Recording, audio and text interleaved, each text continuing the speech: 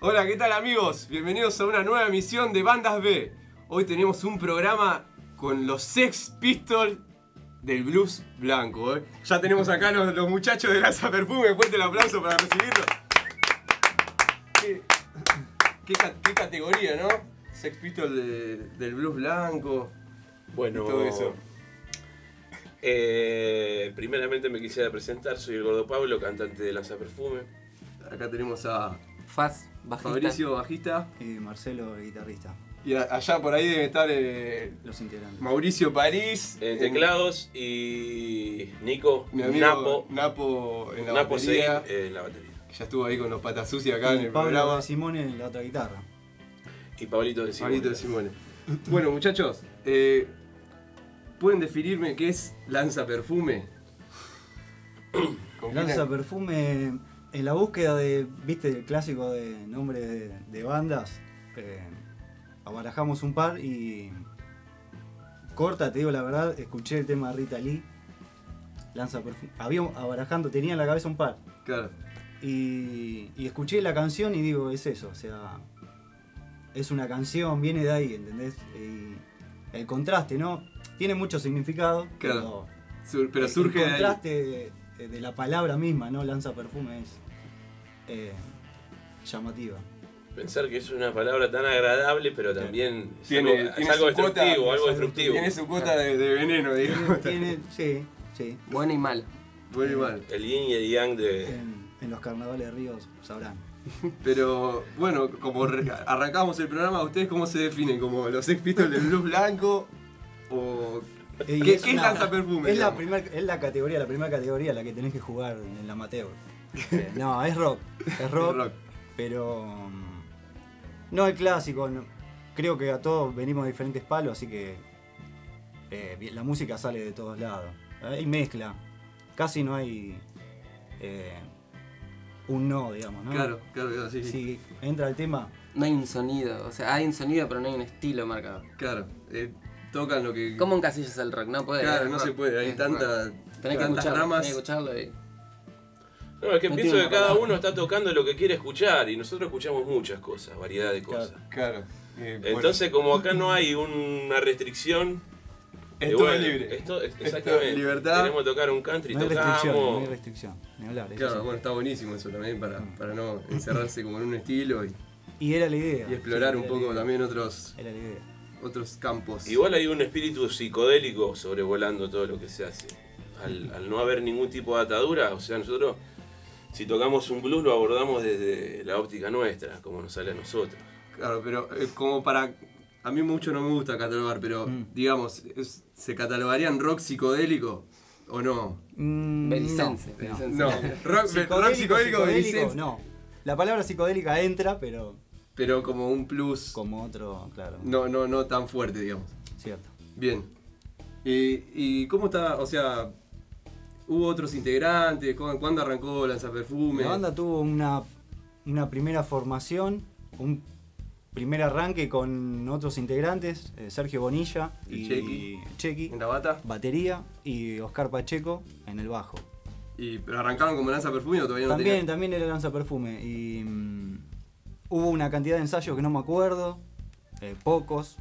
Y viste la clásica, uh, quedó. Sí, yo me acuerdo que estaban, venían a ensayar acá. a ensayar a esta sala. eh, creo que sin y cantante. quedó ahí, sin cantante, Instrumental. fue medio. Hasta hay parte que no me acuerdo, o sea. Sí, me acuerdo, que- pero año, ¿qué año? ¿Habrá sido hace 3, 4 tres- años más o menos? sí, seguro. Que ahí arrancó la banda, digamos. Ahí arrancó la banda, realmente. Este, hubo un parate largo y después con Mauricio eh, empezamos otra vez a, a reactivar y a llamar a, a la gente A la gente, claro. que estaba en sus casas esperando el llamado. Eh, y Hubo bueno, como un impasse y después sí, hubo un impasse y empezamos a ensayar, a hacer temas y Pablo eh, fue el último en sumarse, digamos, así que cuando él entró había cierta cantidad de temas y bueno, él solamente tuvo que... Claro, pero pues, vos anterior a esto venías también tocando en la plegaria. O sí, sea, sí, sí, te, sí, Siempre estuviste en otros proyectos. Cierto. Eh, creo que hablo por todos, todos tuvimos un montón de bandas claro, antes. Con Mauri. Eh, bueno, lo que pasa es que la génesis de, la banda es que todos somos gente que nos cruzábamos en recitales. Claro. Y, y veces se cruzan en la sala. Bueno, no, pero esas charlas de ebrio, de borracho, después de tocar, decir, tenemos que armar una banda bueno, en un momento se armó. Se concretó. Se. Hoy, es el un día. día. se ensayó y chao. Claro, llegaron a. a Los sueños de, ebrios también se cumplen. Este, Ahí para la gente, para la gente ebria. Los sueños se cumplen, así que todo. Hasta para la gente ebria. Así que bueno, ya saben.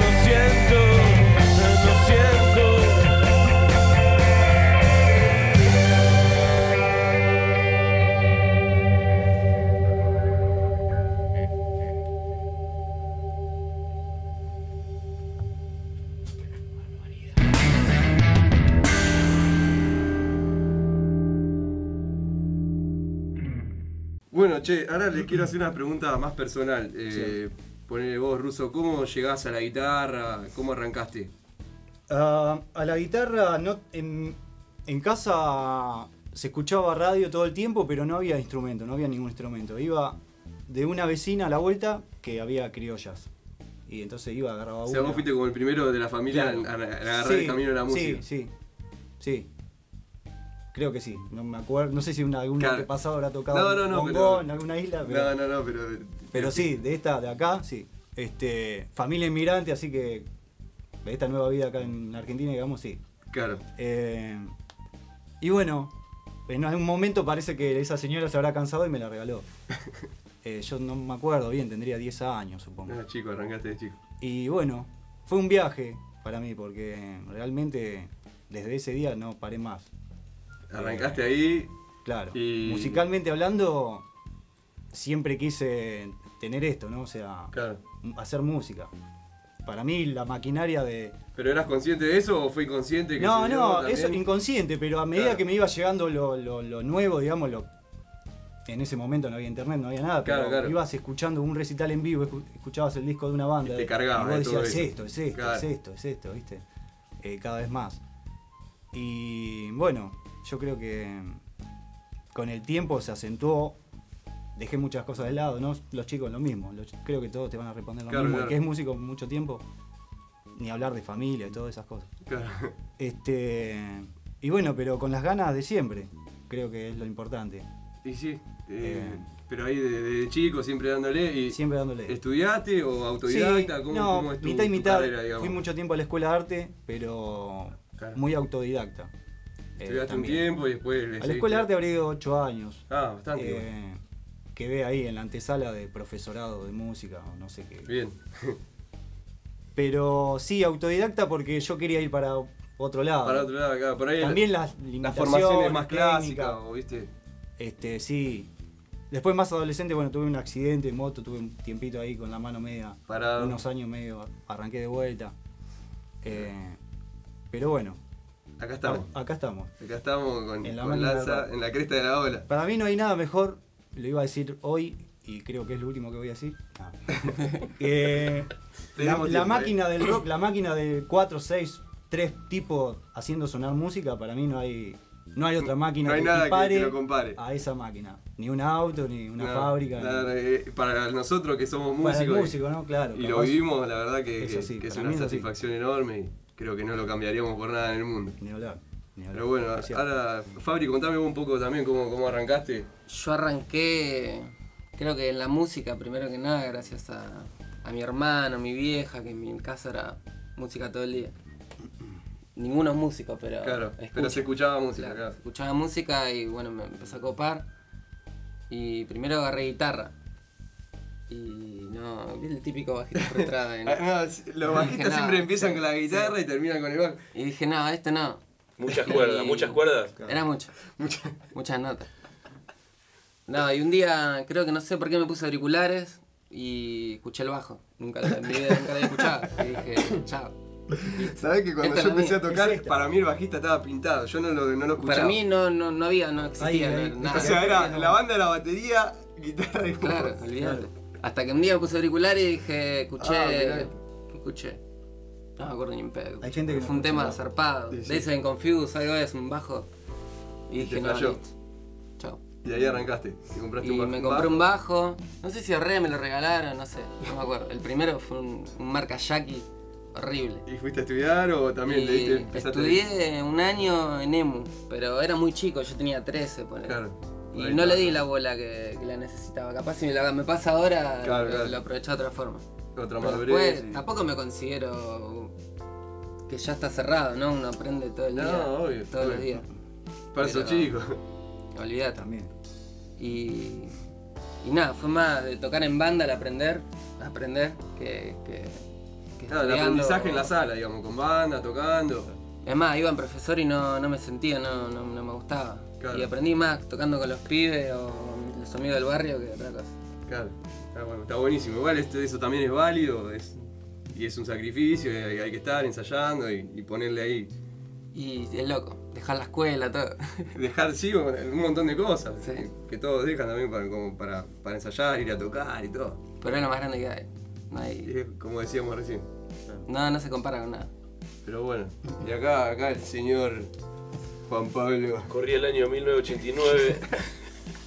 Eh, contame la, la década de los 80 cómo. Nada, yo en mi casa es medio parecido al caso de Marcelo. Había música, pero eh, no, no había nadie que haya interpretado ningún instrumento, ni ningún poeta, ni nada.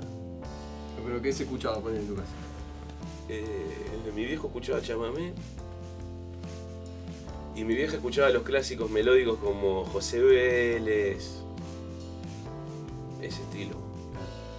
Y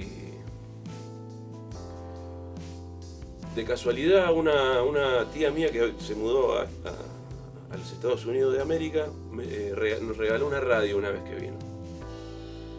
Y yo en esas búsquedas nocturnas de un tipo que no se podía dormir a la noche, entonces ahí perilleando, buscando en el dial, engancho la rock and pop. Y ahí empezó eh, el amor mío por la música. ¿Qué edad más o menos estamos hablando? Eh, y esto fue a los 12 años. Eh, llegó un momento donde escu- escuchaba prácticamente 24 horas del día la radio. Dejé de ir a la escuela.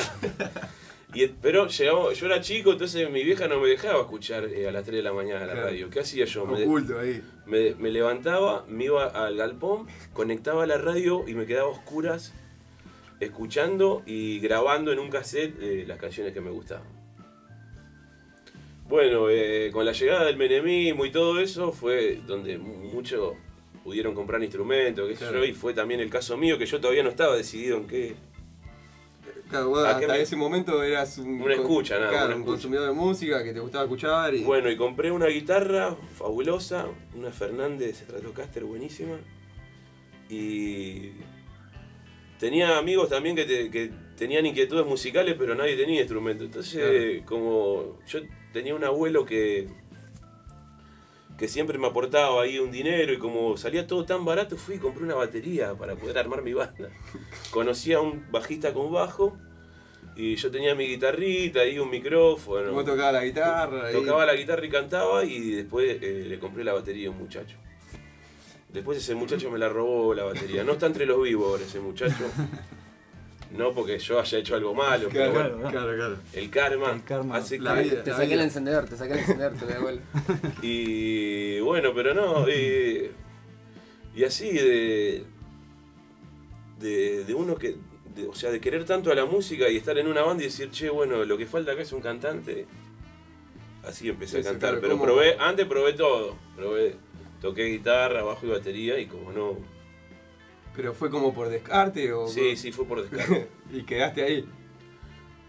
Y igual nunca estudié canto ni nada, pero bueno, eh, hace tanto Hace ya que canto que La, la- la hiciste de oficio también. la- Exactamente. La, carrera. Que, que no es tampoco poca cosa. Es, años y años No, de laburo. claro, Tiene mérito. de aprendizaje, de meterte en estudio, de, de horas de ensayo, ensayo, de ir a recitales. y exactamente. De todo eso.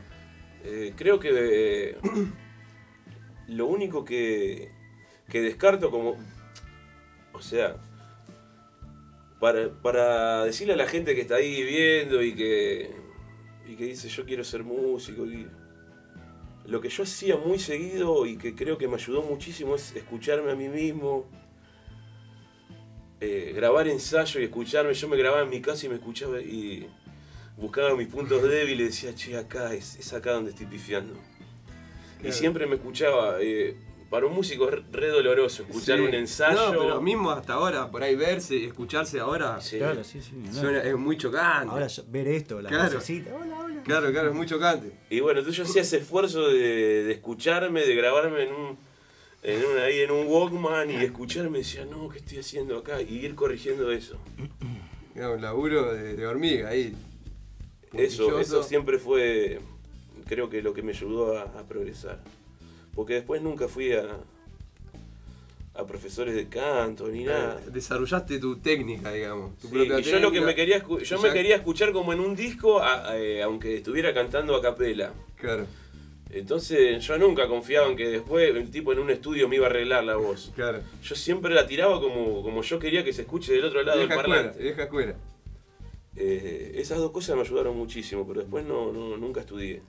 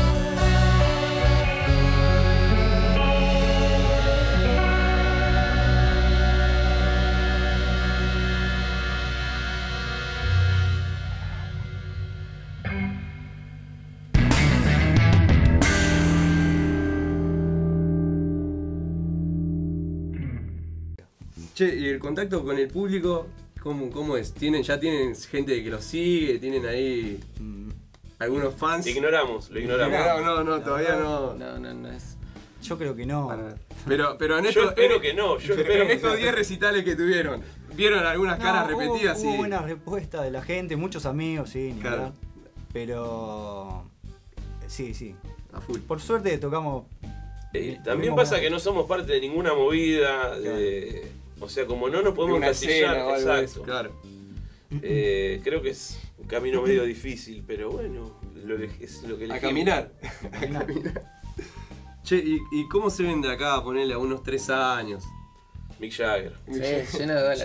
De- Miguel, bueno, con- buena expectativa. Slash, yo Slash, Llave. Tres años, tres años mucho. Tres años mucho, pero no, se ven juntos mucho. ahí. Yo me veo en la música y sí. Con varios discos en la mano. puesto a los pibes a morir, sí, ni hablar. Componiendo Con y, mucho escenario. y Eso. rockeando a full. Sí. Como hoy. Igual hay muchachos de la banda que no sé cuánto más pueden durar. Claro. En vida, en vida. Hay gente que, bueno. Bueno, va- vamos a pasar acá a la gente, los contactos de la banda. ¿Cómo los ubican? Facebook, eh, La página de Facebook, eh, Lanza Perfume Música. Lanza ¿es? Plaza Perfume Perfume Música, Es una. eh, ¿qué fanpage o, o- o persona? Eh, es persona, la fanpage es Lanza Perfume Solo. Individuo no físico. Eh, Facebook.com, lanza perfume. Lanza Perfume. Tiene Ah, la- bueno, esos dos contactos. Música todavía no hay. Música todavía no hay nada. No hay Pero banda, bueno, no la hay- gente se va a enterar por, por esos medios, esos medios. eh, cuando, cuando haya algo para escuchar. Y, Bueno, pero la música va a estar hoy acá. Claro, Claro. va a estar hoy y van a estar tocando también en Pura Vida con pájaros, eh, ahora en la otra semana. Eh, así que cierto, están cierto. ahí Eh, festejando los 10 años de, Los 10 años 10 de pájaros. de pájaros. en Pura vida. Y, y bueno, la gente que los quiera ir a, a ver en vivo a esta banda, a esta gran banda, lo puede hacer ahí a, a través de Facebook. Van a estar publicando las fechas, eh, Atentos a Lanza Perfume Música los videos y todo. y Lanza Perfume. Bueno, nos vamos muchachos. Bueno, ¿Qué, ¿Con qué cerramos? ¿Qué, qué vamos a hacer? Eh, no tenemos ni idea de la- como no hacemos lista de temas tampoco la decimos ahora así Bueno, que, pero díganme con qué cerramos eh, y, y nos vamos con ese tema. eh, um, eh, esta canción la, la última la última con la que se va a cerrar La última. se llama Tanguito Dudoso Bueno, nos vamos a ir con Tanguito Dudoso acá de, de los muchachos de Lanza Perfume. Eh, antes de irme también quiero agradecer a la gente de M51 ahí, Montevideo 12 y 13 por la ropa. Vayan a ver la ropa que hay ahí muchachos. Qué- Al lado del Cine Victoria. Cómo estoy yo. qué nivel.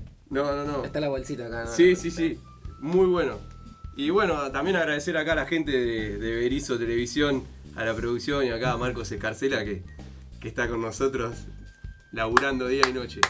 Bueno muchachos, muy lindo el programa. Nos vamos acá con Tanguito, Tanguito Dudoso Tanguito Dudoso. Nos vemos la semana que viene, chicos. Adiós. Chau, chau, chau.